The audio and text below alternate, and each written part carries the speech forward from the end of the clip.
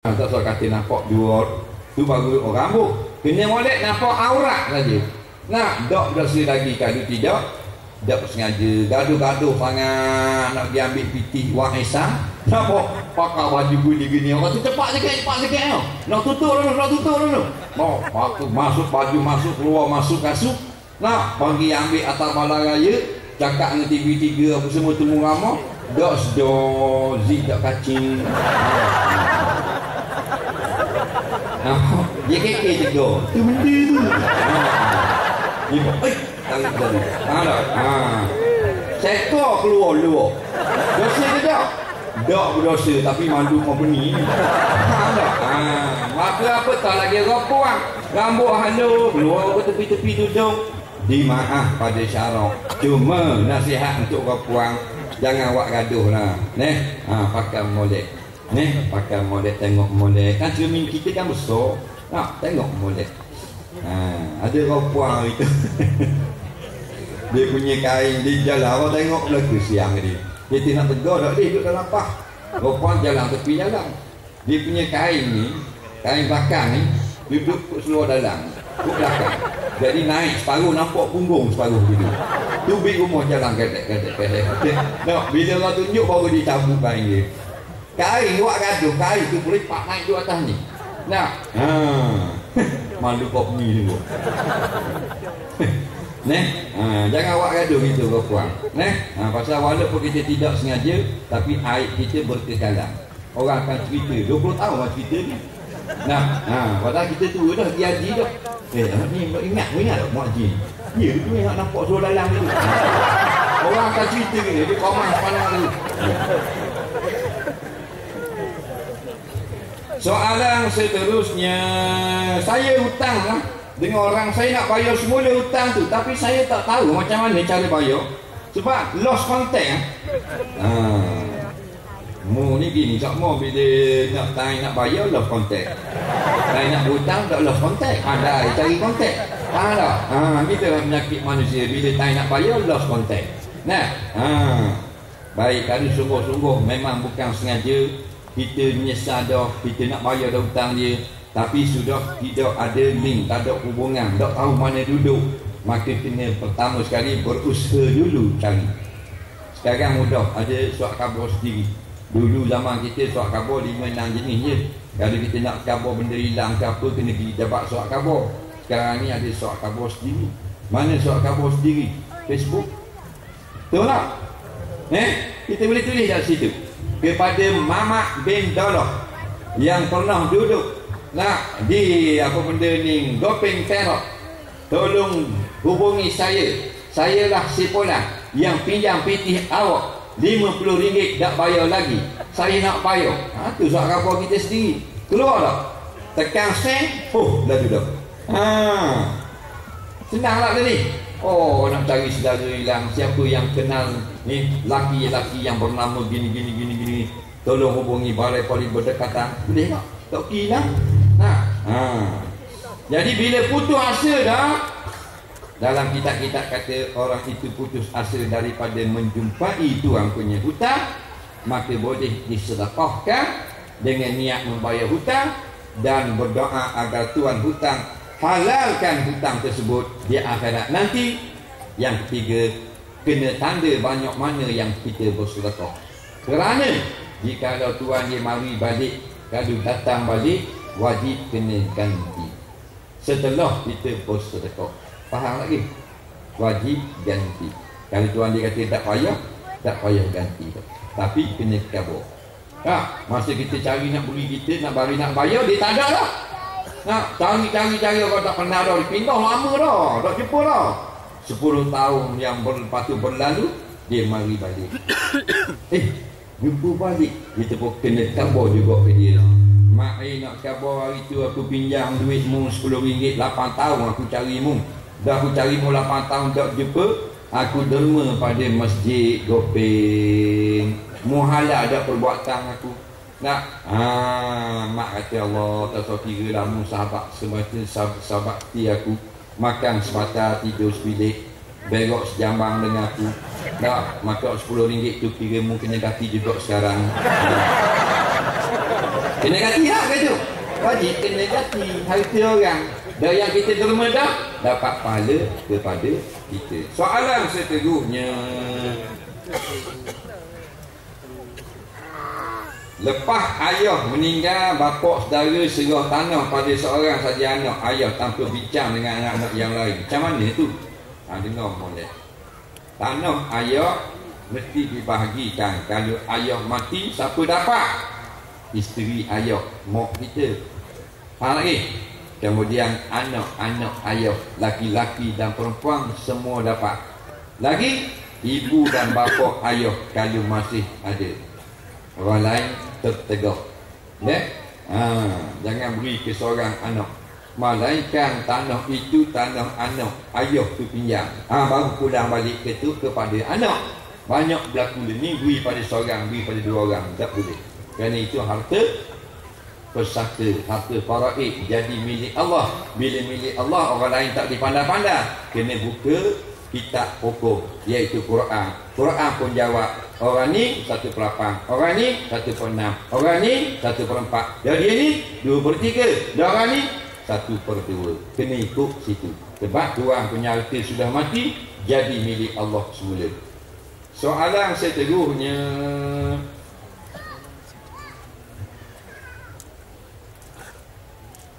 Mana kita nak tahu seorang laki-laki atau perempuan tu baik untuk menjadi suami atau isteri. Ha. Dia tidak tahu dua ni. Orang perempuan tu nak baik nak jadi isteri kita atau orang laki-laki tu baik nak jadi suami kita.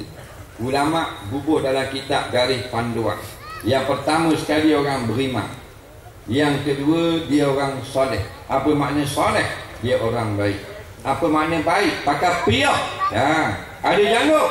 Ya baik ni orang yang tidak buat benda-benda yang salah di sisi agama walaupun pakai kemeja walaupun pakai jeans faham ha janggut belum tentu baik ha ni boleh tipu habis harta orang hok ada janggut Ha, ni boleh orang pakai ketayak. Ha, habis jing 3 400 ribu. Dah piti anak saudara.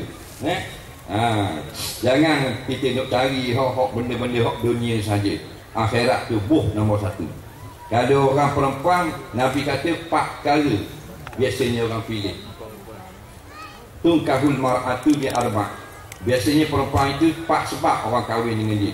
Yang pertama di jamaliha kerana dicomel. Yang kedua di hasabiha kerana keturunan mulia. Yang ketiga lima liha kerana ada harta lebih Yang keempat lidiniha Maka Nabi kata Pak Visit ni Pilih yang beragama Talibat iada Puas hati kamu. Faham tak? Ha. Sebab Kalau comel Lama tak tahan comel Tak lama Sekejap saja. Nak? Tak percaya kita balik lagi Kita tengok gambar kita Sanding dulu. Masa nikah dengan bini kita. Comel muka dia masa tu. Oh Sini merah Sini kelabu Sini ya Sini biru Sini tiga line putih. Jawab ni. Kita tengok muka dia ni Macam macam kodok Nah, ha, tak tahan lama Dah kalau kaya Akhirnya hilang harta. Tapi bila agama Berkekalan Nah, beragama bukan rupa agama Dia tu berakhlak agama Eh, kita duk tengok rupa agama. Rupa, rupa agama senang je. Beli pia, taruh janggut. Kalau orang pakai tidur labuh, orang panggil rupa agama. Itu bukan. Batang tubuh beragama. Bukan pakaian beragama. Nah, ha. Pia boleh beli tu, depan tu. Tiga rial. Ha, tak? Ha. Jumpa, tu belakang tu. Nak hulu. Dah jadi baik. Belum tentu. Jangan janggut, nak buat apa ni? Janggut cipang tak usah cukup. Belum tentu jadi baik. Tak tak tupik ustaz. Bu, bulu jagung sampai. ha. ha, tu bukan baik. Baik dalam tu. Tak tipu orang, tak kena orang. Ne? Ha. Jadi biarlah orang yang baik-baik. Cuma asasnya dia orang yang saya kerja di Peng tapi ada offer kerja tempat lain. Jadi kurang sikit. Macam mana tu ustaz? Mana kau tahu tu?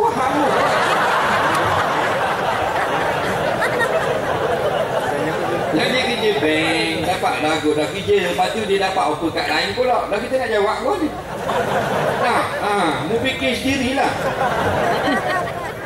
lain maknanya dia kerja di tempat yang haram ha, itu lain saya bekerja di tempat yang haram Ustaz. Saya ada apa tempat yang lain. Ha, senang kita jawab. Ni bekerja di bank. Kerja di bank bukan mana haram. Kita orang Melayu bila ke bank haram. Bukan bank mana haram dah. Bila hutang riba. Ya jangan gaduh gitu. Hutang bukan mana riba riba lain.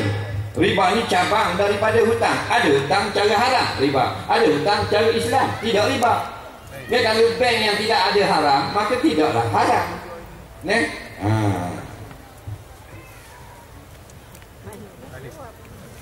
soalan seterusnya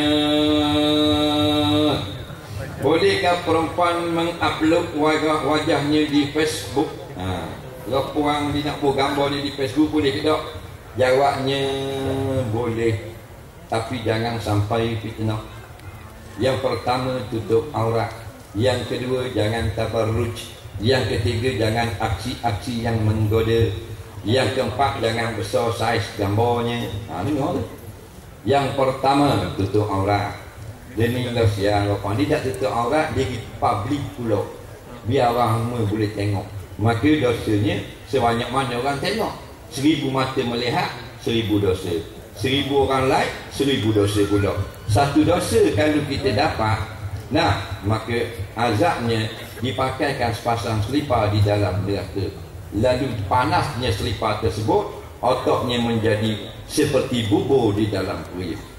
Membelagok itu orang yang dapat satu dosa saja sedama hidupnya. Maka dia dapatlah azab yang paling ringan Nabi kata di dalam neraka. Nah ha, jadi hak lepas-lepas tu delete nah perempuan hak nak dedah aurat dedah depan suami. Tak payah dedah lah dalam Facebook. Nah sebab apa dia tuduh nak dedah aurat dia buat gitu-gitu sebab kadang-kadang dia tak faham. Kadang-kadang tak ada iman. Kadang-kadang sebab tak ada takwa. Kadang-kadang terikut-ikut. Nak tunjuk lawa dia. Yang kedua, jangan tabarruj. Walaupun kita boleh letak muka kita dalam Facebook, janganlah berhias-hias yang melampau. Siapa merah ni, mata-mata, siapa atas ni, ni lah, tengok macam pala lauri muka. Nah, ha, duduk dah siang ke dia. Ha. Allah puan dengan molek. Allah kata, wala tubdi nazinatahunna illa li bu'ulatihinna. Janganlah hai kaum wanita sama ada wanita duduk di Gopeng, duduk pada Kansa, tanya wali, Porompo, Malaysia, seluruh dunia, jangan menunjukkan sangat kecantikan, solekan, perhiasan menaikkan untuk suami-suami mereka. Ini arahan Allah Ta'ala. Bukan perkataan ulama. Ha, ayat Quran. Batu perempuan kita pesan kalau nak keluar rumah maka jangan lebih-lebih sangat muka kasih lawa nak kasih lebih-lebih lawa untuk suami kita untuk mak kita tengok untuk tahu kita tengok. Faham? Untuk orang luar jangan lebih-lebih. Orang perempuan yakinlah awak sudah cantik Allah jadi.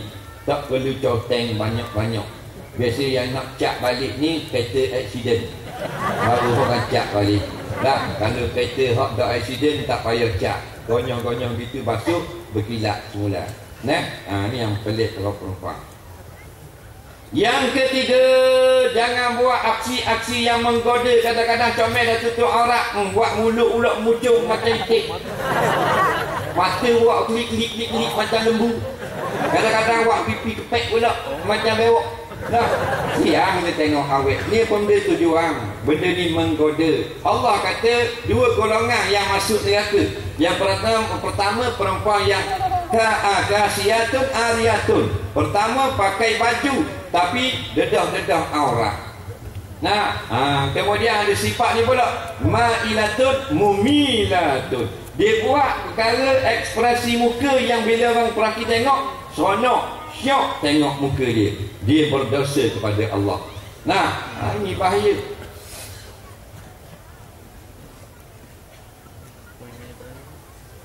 buat muka molek-molek eh, seksi-seksi gitu buat ke suami kita apa pergi buat ke orang ramai nah ha, dah kita tak ada laki lagi tak eh ha, tak usah buat taruh dulu exercise malam-malam buat muka bila-bila tunjuk ke lelaki mu bila-bila nah ha Pak mana ada laki ada suami dah duduk di rumah praktis depan cermin. Nah, boleh buat kan? Muka itik, muka he, muka he, muka lembu. Nah, ha, balik lagi. Faham bang? Macam mana tak muka lembu? Oh, ha, suami kata comel lah. Macam lembu. Ha. Tak apa laki kita nak galak nak gurau pun. Nah, ha, ni buat apa nak tunjuk gitu? Pasal terikut-ikut dengan barak yang tidak ada asas pengetahuan agama. Nek? Ha. Yang keempat syaratnya jangan besar gambar. Kalau besar bahaya. Banyak dah gambar-gambar perempuan gambar-gambar pelajar di Malaysia diambil lalu imposkan oleh orang-orang yang tidak bertanggungjawab sebab saya punya mukanya besar bila saya mukanya kecil besar tu tak boleh nak impos. faham tak lagi? Ha, ini berbahaya siang dia dia orang baik walaupun dia tu tak ada ha, lah orang-orang sangat tapi tak boleh sabar dia duduk dalam gambar-gambar lucu telanjang bogel gitu mukanya rupanya orang sudah ambil sudah impos badan orang lain, muka orang lain. Pasal apa?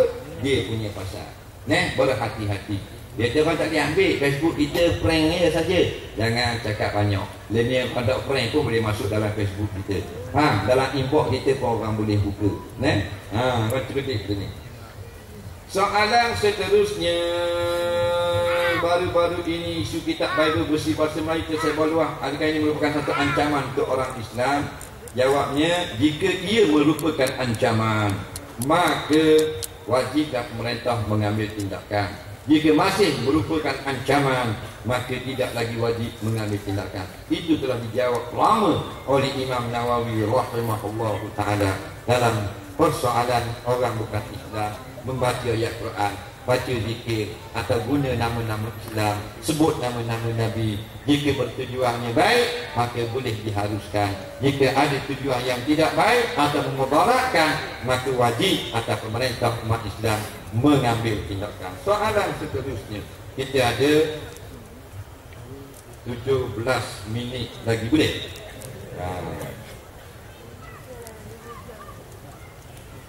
Sudah ini perlu duit yang banyak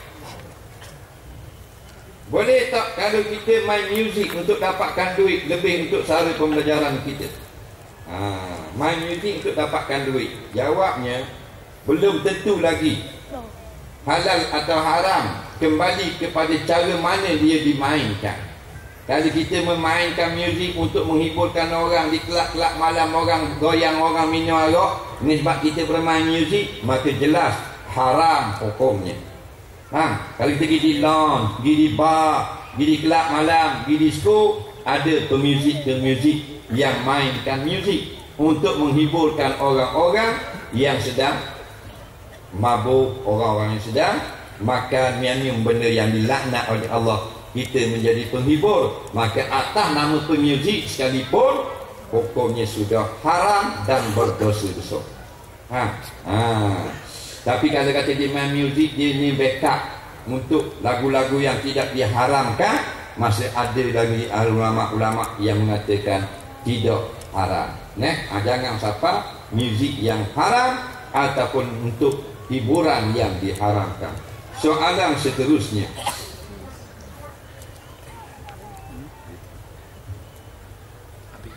Kita sama dengar balasan yang diterima oleh kaum Hawa yang tak tutup aurat Apakah pula balasan kaum Adam yang buka aurat? Ha, dia kata biasa kita dengar orang perempuan kena hukum di akhirat tak tutup aurat. Dan kalau orang lelaki sama saja. Aurat-aurat ni benda. Ma yajibu satruhu. Anggota yang wajib kita tutup. Maka apa makna wajib? Ma yusabu fa'iluhu wa yu'aqabu tarikuhu. Wajib ni perkara yang kalau kita buat Allah beri pahala dan kalau kita tinggal Allah azab di akhirat nanti. Jadi mana-mana orang lelaki yang mendedahkan aurat lalu dia tidak diampunkan oleh Allah dia akan diseksa di akhirat nanti. Sekadar mana kita buka sekadar itulah kulit kita akan disambar oleh api neraka akhirat. Soalan seterusnya. Apakah hukum kencing berdiri? Jawabnya boleh jika betul dengan keadaan dan kalau kita ada pilihan untuk kecing duduk maka hukumnya makruh kecing berdiri. Kita masuk dalam tanda aa, ah, boleh duduk. Maka kita pun kecing berdiri juga. Hukumnya makruh. Tapi tak dosa tak berapa molek faham tak tapi kadang-kadang tak boleh nak duduk kena berdiri. Maka hukumnya makruh kita duduk. Contoh Nabi nak kencing tiba-tiba di tempat itu ada najis dan sampah yang kotor. Lalu Nabi berdiri tu kali. Yang kedua Nabi kencing berdiri kerana sakit di belakang lutut Nabi. Tak boleh nak duduk. Faham lagi ne? Ha, jadi kadang-kadang kita berdiri benda tu tak salah. Lepas kita tengok orang kecil berdiri Jangan terus kita hukum dia. Nah, kadang-kadang ada sebab Dan lagi pula kecil berdiri ini Bukan perkara mungkar Siapa kita nak balah Siapa kita nak hukum orang sebagai fasik ne? Bukan minum arak ne? Ha. Kadang-kadang molek berdiri Dan kalau kita duduk berbahaya Boleh menjadi haram Contoh Kita masuk dalam tanda Nak kecil orang lelaki ni Hak jambang ada pintu, kunci belaka. Bila kunci mana ada benda dalam tu? Ada orang nak sedang meneruskan projeknya. Ha. Maka di luar tu dia buat satu tempat kecil yang makuk cek kat dinding gitu. Nah, ada cek dia makuk keluar kat dinding. Nah, ha. Jadi maknanya kalau dah dalam penuh, kita boleh kecil berdiri di luar walaupun pakai serban walaupun pakai jubah walaupun untuk guru orang kerana itu keadaan al-masyaqqatu tajlibu taysir. Dalam kepayahan diberi hukum kemudahan. Faham lagi jangan warak dan wabarkum dah tahu benda. Nyegi panjat atas tepi tu. Duduk duduk duduk. Lalas sanggup jatuh patah angry bird nak jangan siapa ketua betul tak? Ha, jadi jangan siapa kita berdoa-doa tadi. Eh ha.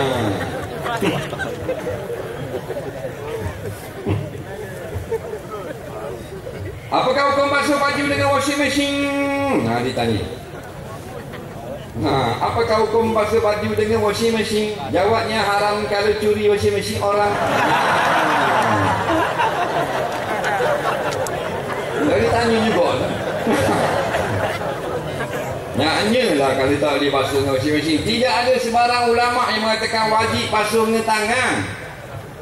Nak basuh dengan tangan boleh, nak basuh dengan magic boleh. Nak basuh dengan suruh orang buniang pun boleh. Nak pakai mesin pun boleh. Faham? Ada benda yang tak boleh pakai mesin, ada benda yang boleh. Ada pun basuh pakaian, boleh. Dia hukum membersih, boleh. Faham? Ha. Syaratnya bukan basuh tangan, syaratnya bukan basuh mesin, syaratnya bersih. Nampak tak? Kerana basuh tangan. Yang tukang basuh tu Imam Masjidil Haram. Tapi tak bersih. Boleh buat semayang tak? Tak boleh. Kita atau dobi